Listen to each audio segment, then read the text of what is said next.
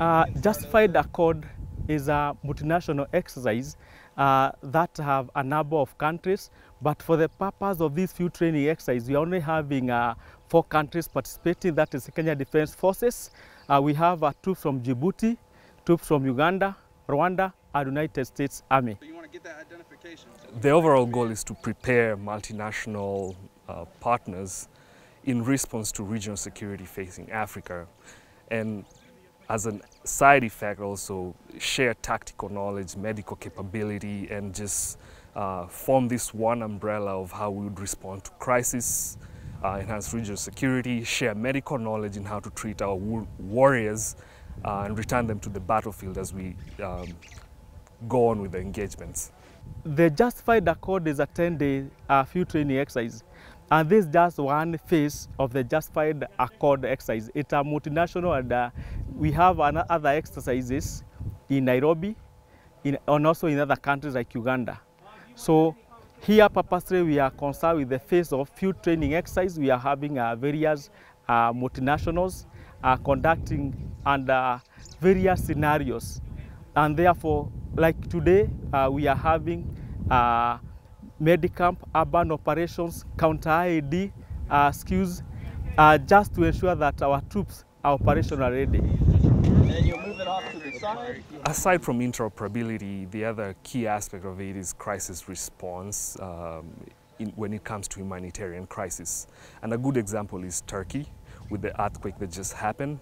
Um, there's a joint multinational um, effort um, to help save lives and, and restore the country back to where it was.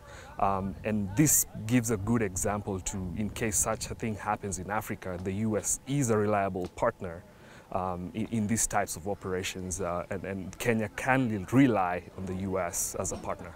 Uh, there are also other uh, important things that like uh, looking at humanitarian issues. There is that phase that uh, we are going to conduct civic activities so that we can be able to alleviate uh, suffering, uh, human suffering in some areas.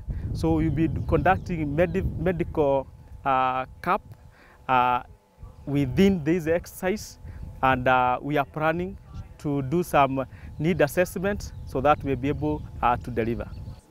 Regional security is definitely topmost. Um, democracy is, is, is, is a way of life that uh, I think everyone has a li- choice, and, and, and that goes hand in hand with security.